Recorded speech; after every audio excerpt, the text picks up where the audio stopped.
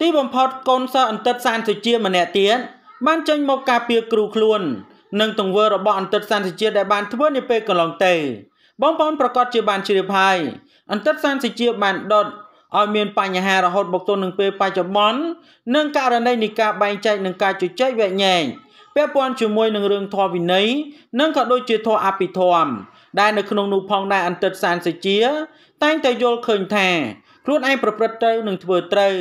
ដែលគេហៅថាមានអំនួតសុឆន្ទៈនៅក្នុងខ្លួនទើបបណ្ដាលឲ្យរូបលោកមួយរយៈចុងក្រោយរងនឹងការវាយប្រហារយ៉ាងខ្លាំង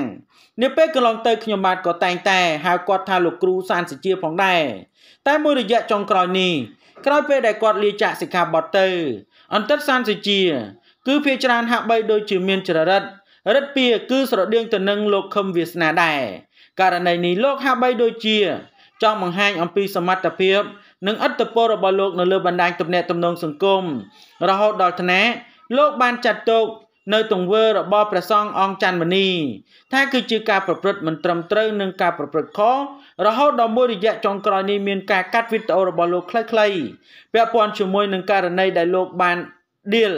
ចំពោះថ្ងៃសិលគឺជាថ្ងៃអពមង្គលជាដើមប៉ុន្តែយ៉ាងណាមិញ ការលើកឡើងរបស់អ្នកដែលរិះគន់លោកសាន់សជាហាក់បីដូចជាមិនជ្រុតជ្រាបដល់សិស្សរបស់អន្តិតរូបនេះឡើយដែលសិស្សដែលយល់អំពីអភិធម្មឬក៏ធម៌អភិធម្មរបស់អន្តិតសាន់សជា តែងតែលើកមកយកមកការពារគ្រូរបស់ខ្លួនជាបន្តបន្ទាប់ដោយពួកគេយល់ថាគ្រូរបស់គេប្រព្រឹត្តត្រូវនិងធ្វើដំណើរទៅប្រកបដោយភាពត្រឹមត្រូវនិងធ្វើឲ្យកូនសិស្សរបស់ពួកគាត់ អាចទៅបរិនិព្វាននៅក្នុងថ្ងៃអនាគតផងដែរយ៉ាងណាមិញដូច្នេះយើងមកស្ដាប់ស្ត្រីម្នាក់ដែលជាសិស្សរបស់អន្តិតសានសុជាទាំងអស់គ្នាបងប្អូនជាមួយនឹងលោក គ្រូសានសុជាហើយបើនិយាយចំទៅខ្ញុំគឺជាកូនសិស្សរបស់លោកគ្រូសានសុជាខ្ញុំសូមបញ្ជាក់ណាខ្ញុំអត់មិនមែនជាអ្នកទៅរៀនធម៌បានរៀនអភិធម្មរៀនអីទេក៏ប៉ុន្តែខ្ញុំទទួលបានការអប់រំផ្លូវចិត្តពីលោកគ្រូជាច្រើនឆ្នាំមកនេះគឺខ្ញុំទទួលបានអ្វីយ៉ាងច្រើនហើយខ្ញុំឃើញបងប្អូនទាំងអស់គ្នាអ្នកខ្លះគាត់ថាស្ដាប់ឈប់ស្ដាប់ទៅក៏មុនគឺដូចជាគ្រាន់បានដល់ពេលឥឡូវហ្នឹងទៅឃើញថាខុសប្លែកពីមុនឆ្ងាយសម្រាប់ខ្ញុំខ្ញុំមើលទៅដូចជាអត់មានខុសប្លែកពីមុនអីទេគឺនៅតែធម្មតាតតែខ្ញុំនៅតែទទួលបានការអប់រំយ៉ាងល្អពីលោកគ្រូតតែអានេះគឺមតិរបស់របស់ផ្ទាល់ខ្លួនរបស់ខ្ញុំដែលខ្ញុំមើលឃើញគឺបែបហ្នឹងហើយសម្រាប់បងប្អូនដែលគិតថា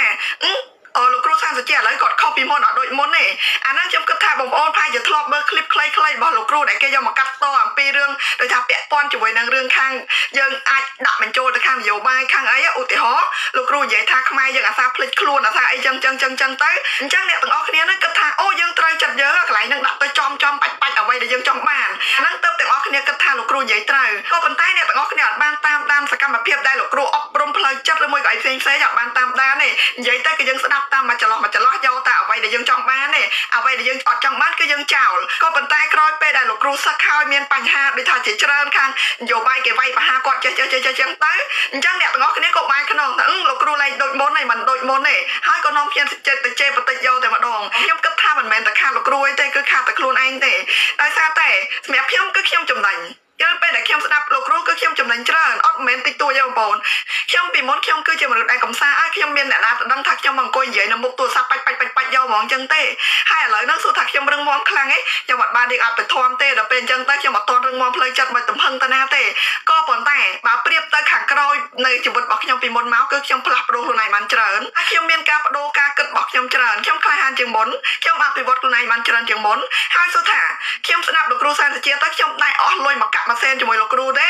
ខ្ញុំអត់មានអស់លុយទេខ្ញុំធ្វើវីដេអូនិយាយពីលោកគ្រូមានតែរលុយបានដូចខ្ញុំធ្វើវីដេអូមួយនៅពេលដែលលោកគ្រូសឹកវីដេអូមួយហ្នឹងខ្ញុំរលុយបានដល់ទៅជិត300ដុល្លារហើយចំណូលនៃវីដេអូមួយហ្នឹងខ្ញុំបានបង្គ្រប់300ដុល្លារហើយខ្ញុំយកទៅជូនមន្ទីរពេទ្យកុមារអង្គរអាហ្នឹងគឺអ្វីដែលខ្ញុំទទួលបានពីលោកគ្រូគឺបែបហ្នឹងហើយអ្នកខ្លះថាលោកគ្រូសឹកមកហេតុអីក៏យកធម៌មករកស៊ីចិញ្ចឹមជីវិតខ្ញុំអត់ដឹងថាលោកគ្រូយកធម៌មករលុយបានតាមណាដោយសារតែខ្ញុំអ្នកស្ដាប់នេះវាមិនដែរអស់លុយមកកាក់មកសិនមានតែទទួលបានមកវិញអានេះគឺអ្វីជាក់ស្ដែងដែលខ្ញុំទទួលបានឥឡូវនេះខ្ញុំសូមចូលវិធានបទបន្តិចចំពោះរឿងដែលកំពុងតែកន្លប់ចាក់រាល់ថ្ងៃហ្នឹងកំពុងតែជេរបន្តិចលោកគ្រូយ៉ាងខ្លាំងហ្នឹង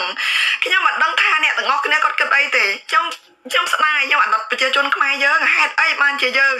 អត់ឲ្យតម្លៃអ្នកចេះហេតុអីបានជាមានអ្នកចេះយើងមិនចេះថែរក្សាអ្នកចេះពិតប្រាកដហេតុអីបានជាយើងទៅជន់អញ្ចឹងខ្ញុំអត់យល់បាទនេះគឺជាពាក្យសម្ដីរបស់កូនសិស្សអន្តិតសានសេជាគាត់ចង់និយាយថាយើងនាំគ្នាមិននាំគ្នាជួយថែរក្សាអ្នកចេះ នៅក្នុងសកម្មភាពនៅក្នុងពេលបច្ចុប្បន្នបងប្អូនដឹងហើយថាតាំងកាពិតលោកអន្តិតសានសុជាលោកពិតជាអ្នកចេះមែនប៉ុន្តែដោយសារតែលោកចេះមួយរយៈចុងក្រោយឡើងរលេះក្បាច់ ដែលហៅថាជាកាយចេះរហូតដល់ថ្នាក់ជ្រុលនិយមចង់ធ្វើឲ្យមានការបាត់បង់នៅវប្បធម៌ប្រពៃណីរហូតចុងក្រោយទើសរហូតដល់ថ្នាក់ធូកថែមទៀតផងប៉ុន្តែកូនសិស្សរបស់អន្តិតសានសុជា គឺមើលមិនឃើញនោះទេ ដែលប្រើប្រាស់ចរិតជ្រុលនិយមរបស់ខ្លួន ដែលវាយប្រហារទៅលើភាគីម្ខាងដូច្នេះយើងមកស្ដាប់បន្តហើយខ្ញុំគិតថាបងប្អូនអ្នកដែលកំពុងតែគិតបែបហ្នឹងក៏បងប្អូនប្រហែលជាមិនយល់ពីខ្ញុំទៅគ្នាហេតុអីបានជាខ្ញុំល្ងងបែរទៅជាលោកគ្រូអញ្ចឹងអីអញ្ចឹង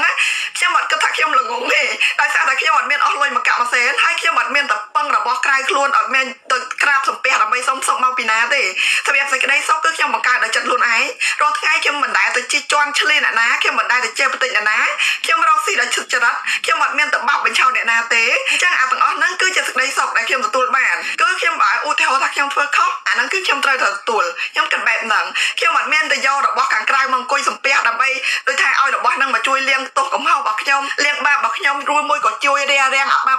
បងប្អូនដឹងហើយថាពាក់ព័ន្ធជាមួយនឹងអបិយជំនឿដែលបងប្អូនគ្រាន់តែជាការបន់ស្រន់ធម្មតាហើយការងារនៅតែបន្តធម្មតាប៉ុន្តែ ទាំងកូនសិស្សទាំងគ្រូភាគច្រើនគឺវាយប្រហារចាត់ទុកបងប្អូនប្រជាពលរដ្ឋគឺជាមនុស្សដែលល្ងងហើយមិនត្រឹមតែប៉ុណ្ណោះ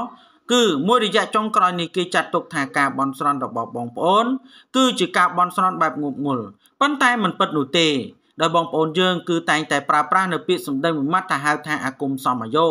មានន័យថានៅពេលដែលគាត់មានអារម្មណ៍តានតឹងដូច្នេះមានតែរោគនៅការបន់ស្រន់ខ្លះទៀតក៏រោគនៅការដាស់តឿនអំពីសំណាក់បងប្អូនឬក៏អ្នកដែលមានចំណេះដឹងជ្រៅជ្រះនោះទៅធ្វើឲ្យចិត្តគាត់ជ្រះថ្លាគាត់មិនមែនអង្គុយតែបន់ស្រន់ដោយបុគ្គលទាំងនេះដែលមានការលើកឡើងដូច្នេះយើងមកស្ដាប់បន្ត ខ្ញុំតែសាងនឹងកុំឲ្យវាចូលមកខ្ញុំអីគឺខ្ញុំអត់មានគិតបែបហ្នឹងទេតែខ្ញុំសាងបាបគឺបាបហើយតែខ្ញុំសាងបុណ្យគឺបុណ្យហើយអាហ្នឹងគឺបែបហ្នឹងហើយអានេះគឺខ្ញុំរៀនចេះពីលោកគ្រូសានសុជាសូមជូនមតិយោបល់តខ្លួនមួយទៀតបងប្អូនដែលឃើញអ្នកដែលស្ដាប់លោកគ្រូសានសុជាយល់ហើយដែលឃើញតែគាត់ទៅជេរបន្តិចអ្នកណាដែលឃើញគាត់ទៅផ្ដាសាដាក់អ្នកណាទេ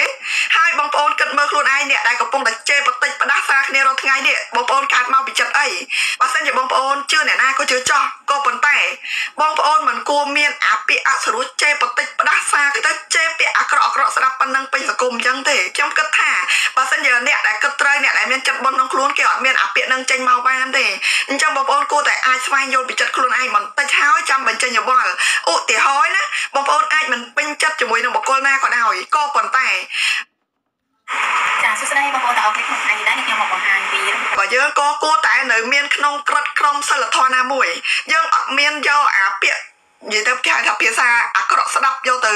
ជន់យកទៅជេរអ្នកណាទេហើយចំពោះសង្គមរាល់ថ្ងៃបងប្អូនចាំសង្កេតមើលតែបើខ្ញុំនិយាយខុសនៅពេលដែលលោកគ្រូសានសុជាសឹកខាងផ្នែកព័ត៌មានខាងផ្នែកអីដែលផ្សព្វផ្សាយរលួយតាមប្រព័ន្ធហ្នឹងដូចថានៅពេលហ្នឹងបងប្អូនទាំងអស់គ្នានាំគ្នាដូចថាលើកលោកគ្រូសានសុជានាំគ្នាអូយលោកគ្រូល្អចេះល្អចុះចេះតាមគេតាមឯងទៅអ្នកអត់សូវស្ដាប់គោចេះទៅតាមទៅដែរក៏ប៉ុន្តែបងប្អូនមើលមករយៈហ្នឹងមានរឿងអីតែបន្តិចគឺគេយកមកកាត់តយកមកអីមកជន់យកជន់យកតែម្ដងហើយបងប្អូនចាំមើល បុគ្គលណាក៏ដោយអ្នកល្បីណាក៏ដោយដែលបងប្អូនកំពុងតែគោរពបងប្អូនកំពុងតែអីក៏ដោយចាំមើលបើឧទាហរណ៍ថាមានរឿងអីតែបន្តិចដែលគេចាប់បានណាឧទាហរណ៍ណាហើយឬមួយក៏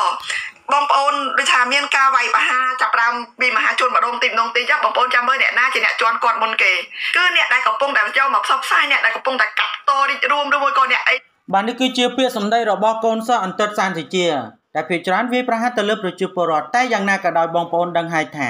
បងប្អូនប្រជាពលរដ្ឋខ្មែរយើងលោកមិនមែនអង្គុយតែបន់ស្រន់ដោយមិនធ្វើការដោយការលើកឡើងរបស់កូនសិស្សអន្តិតសានតិជាឡើយប៉ុន្តែយ៉ាងណាក៏ដោយកំហុសគឺជាកំហុសมันអាចយកមកចាត់ចែងជាមួយនឹង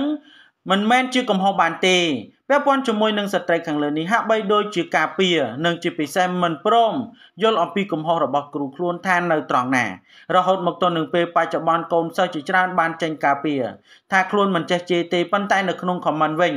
គឺម្នាក់ម្នាក់ជេរញុះញង់និងមិនត្រឹមតែប៉ុណ្ណោះមិនត្រឹមតែញុះញង់ទង់ទេនឹងបង្កើតឲ្យមានបញ្ហាផ្សេងផ្សេងទៀតនៅលើបណ្ដាញទំនាក់ទំនងសង្គមស្ត្រីខាងលើនេះមាន Facebook ឈ្មោះថា Bonna TV ដូច្នេះព័ត៌មាននេះមានប៉ុណ្ណឹងដើម្បីទទួលបាននូវព័ត៌មានថ្មីៗបន្ថែមទៀតសូម Subscribe និង Like